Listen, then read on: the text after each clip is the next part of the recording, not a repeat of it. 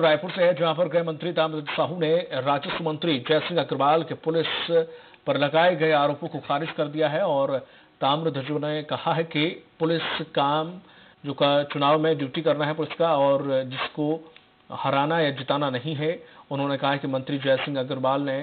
किस संबंध में ये बात कही और ये बयान दिया, उसकी वे जानकारी लेंगे। गौरतलब है कि कोरबा के नतीजों का ठीकरा मंत्री जयसिंह अग्रवाल ने पुलिस पर फोड़ा था। पता नहीं उनने कैसे कहा है कि पुलिस प्रशासन ने हरवा दिया। पुलिस प्रशासन इस प्रकार का काम